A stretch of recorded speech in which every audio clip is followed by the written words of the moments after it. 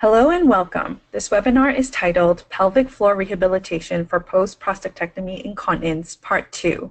And today's guest speaker is Bill Landry, registered physiotherapist from the Family Physiotherapy Centre of London. Please note that this topic will be covered as part of a three-part series. And without further ado, I will now turn this webinar over to Bill. Thank you, Bill.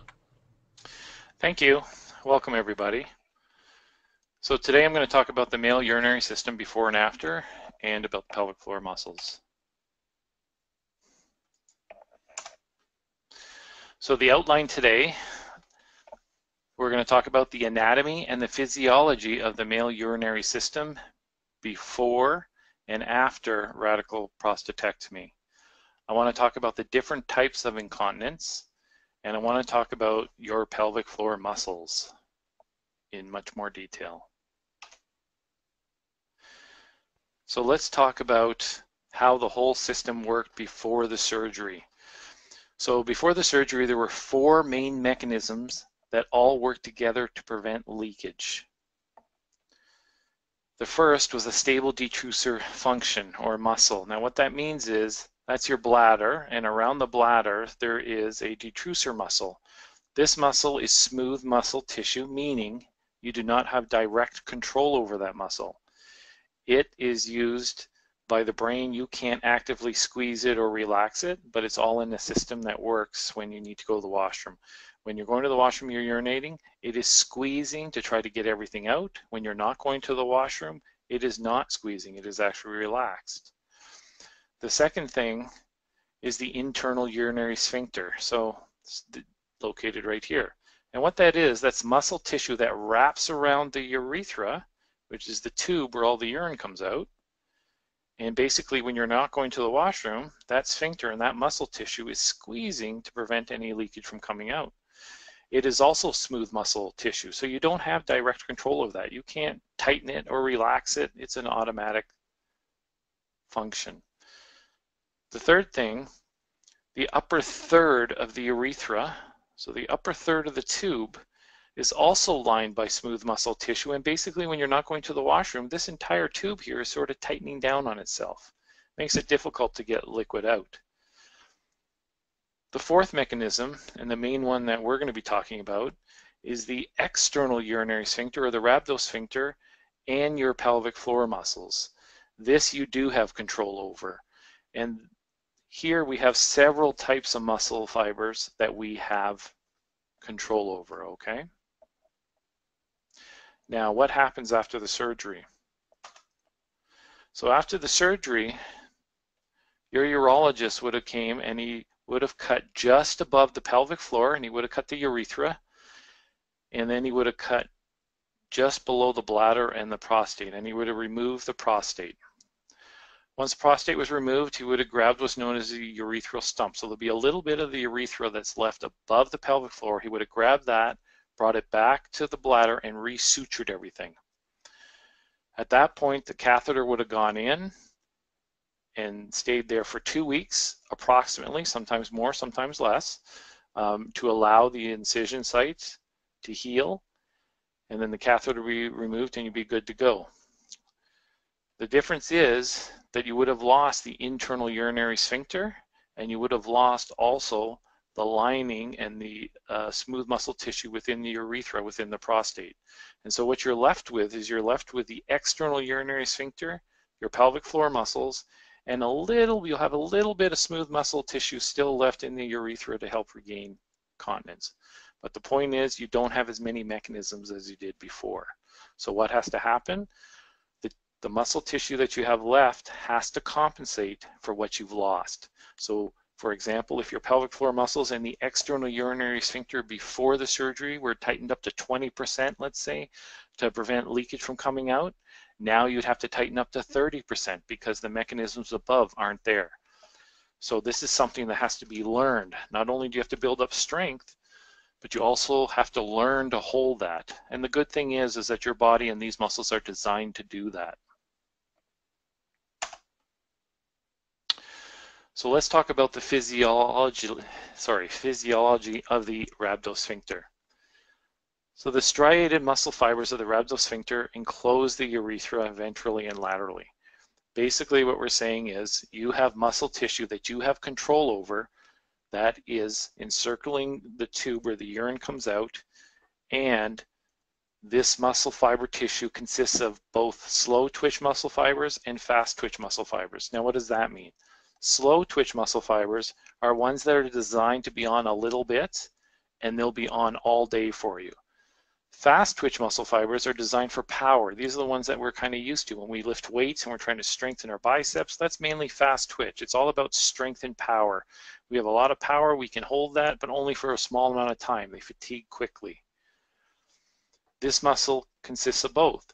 And they found that 66% of all the muscle tissue within your pelvic floor and the rhabdosphincter consist of this slow twitch type 1 fibers and 33% consist of the fast twitch type 2 fibers. So it consists of both. And because of that, when we as physiotherapists want to work on strengthening these types of different muscles, we give you different types of exercises to do this.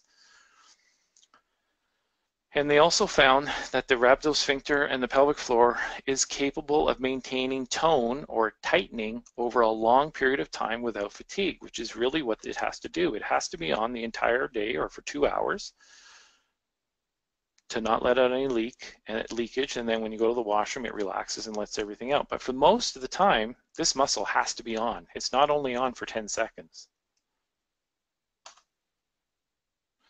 now what types of incontinence uh, are seen after radical prostatectomy so the most common and I would say 100% um, have this at some point is the involuntary urinary leakage on effort or exertion, sneezing, coughing. So the stress incontinence.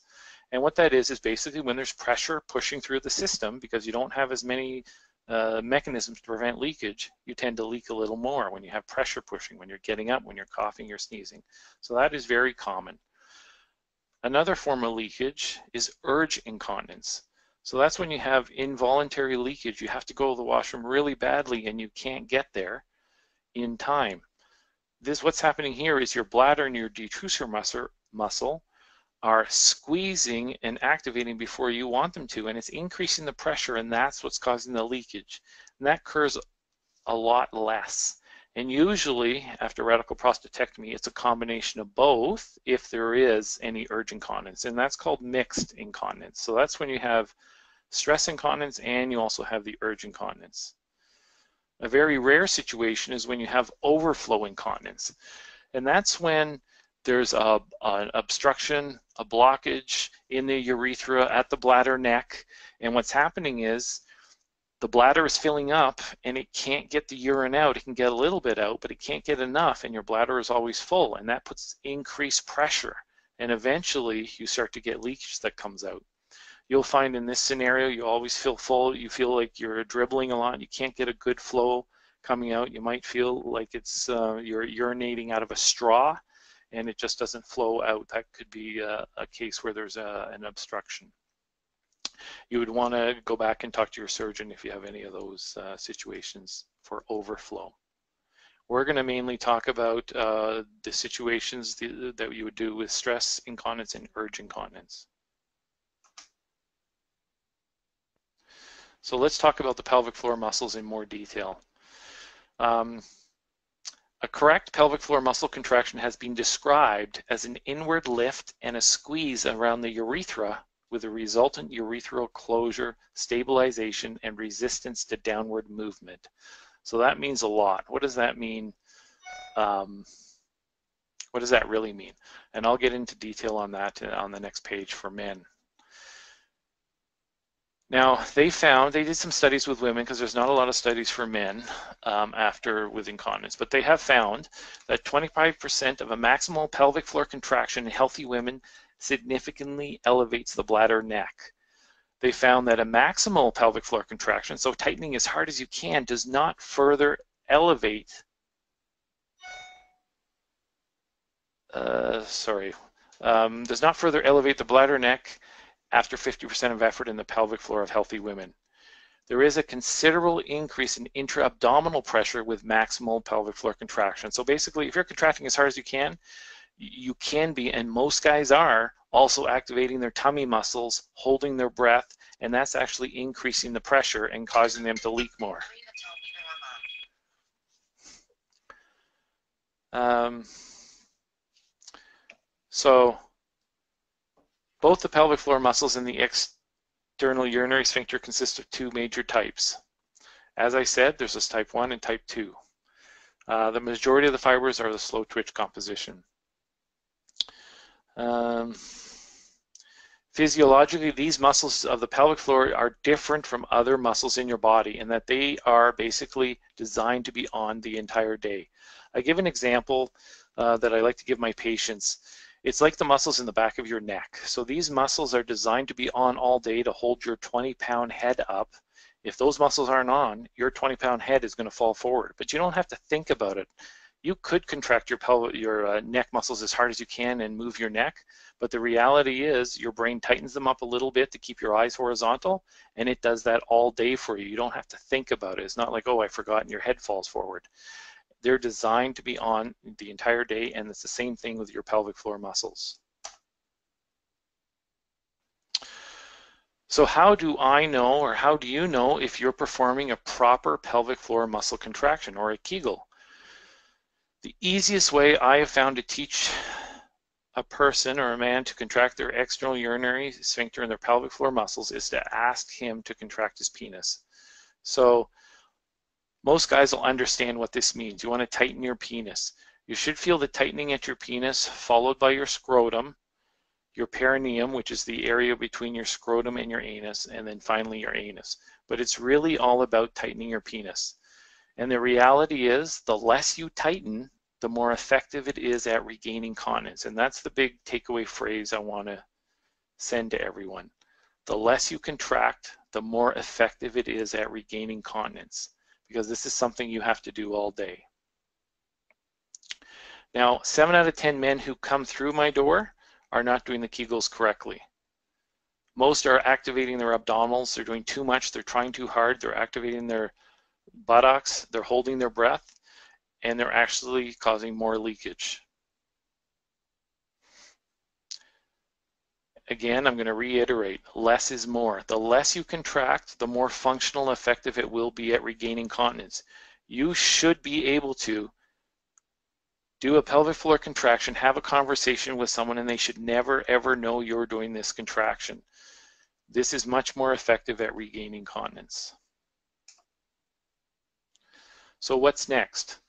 In webinar three, I'm going to discuss in more detail several exercises that have been recommended specifically for men after having radical prostatectomy and urinary incontinence.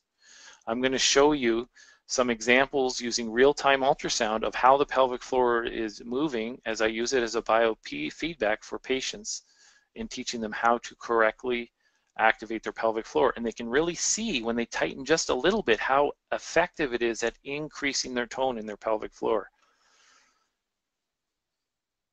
Thank you very much. Thank you, Bill.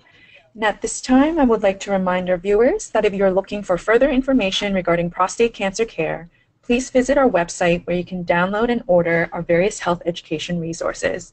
There are also resources attached to this webinar. And if you're interested in viewing more webinars, please visit www.prostatecancer.ca slash expertangle. Once again, thank you so much, Bill. And that concludes our webinar today. And thank you everyone for joining us.